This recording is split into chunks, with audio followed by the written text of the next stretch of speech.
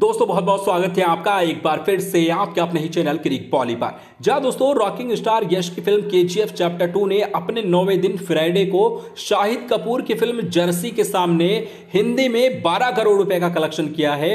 तो वहीं जर्सी ने पूरे इंडिया से अपने ओपनिंग डे पर सिर्फ़ पाँच करोड़ रुपए की कमाई की है। लेकिन दोस्तों, इस वीडियो में हम बात करने वाले हैं के चैप्टर टू के पूरे नौ दिनों के बॉक्स ऑफ़िस कलेक्शन के बारे में, बजट के बारे में, हिट और फ्लॉप के बारे में। तो बस आप इस वीडियो के साथ बने रहिएगा।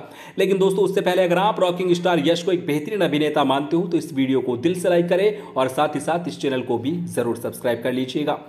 बात करें K G F chapter two के बॉक्स ऑफ़िस कलेक्शन की तो जैसा कि हम सभी जानते हैं, फ़िल्म के जी एफ़ चैप्टर टू को पूरे वर्ल्ड में लगभग ग्यारह हज़ार स्क्रीनों पर रिलीज़ किया गया था। वहीं फ़िल्म का बजट था 120 करोड़ रुपए। लेकिन फ़िल्म ने अपने पहले ही दिन ओपनिंग डे पर यह सारा बजट निकाल लिया था। वहीं बात करें फ़िल्म के अभी तक के टोटल बॉक्स ऑफ़िस कलेक्शन की तो सबसे पहले मैं आपको बता दूँ कि फ़िल्म ने पूरे वर्ल्ड में सिर्फ़ सात दिनों में सात सौ बीस करोड़ रुपए की कमाई कर ली थी।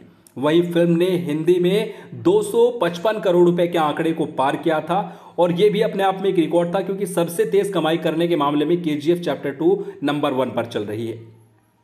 वहीं बात करें फ़िल्म के आठवें दिन के बॉक्स ऑफ़िस कलेक्शन की तो आठवें दिन फ़िल्म ने इंडिया से जो हिंदी में कलेक्शन किया है, वो लगभग तेरह करोड़ रुपए का किया है। तो हिंदी में टोटल आठ दिनों का बॉक्स ऑफ़िस कलेक्शन हो चुका है केजीएफ चैप्टर टू का, दो सौ अड़सठ करोड़ रुपए। वहीं अगर मैं बात करूँ इंडिया की और ओवरसीज की तो इंडिया से जो नेट कलेक्शन हुआ है आठवें दिन का, वो पच्चीस करोड़ रुपए का हुआ है। वहीं पूरे वर्ल्ड से फ़िल्म ने तीस करोड़ रुपए की कमाई की है। तो फ़िल्म का आठ दिनों का total box office collection worldwide में सात सौ पचास करोड़ रुपए का आंकड़ा पार कर चुका है। वहीं अगर नौवे दिन यानी कि आज की बात करूँ तो फ़िल्म हिंदी में बारह करोड़ रुपए कमाने वाली है। वहीं सभी लैंग्वेजेस का मिला के इंडिया में जो नेट कलेक्शन होने वाला है, वो लगभग बीस करोड़ रुपए का होने वाला है। और वहीं ओवरसीज से भी फ़िल्म लगभग पाँच करोड़ रुपए कमाने वाली है। तो कुल मिला के नौवे दिन पच्चीस करोड़ रुपए का बॉक्स ऑफ़िस कलेक्शन होने वाला है। तो आप कह सकते हैं कि फ़िल्म का जो टोटल बॉक्स ऑफ़िस कलेक्शन है, वो सात सौ करोड़ रुपए हो जाएगा नौ दिनों का। सात सौ सतहत्तर सेवन सेवन सेवन ये हो जाएगा नाइन डेज़ का कलेक्शन के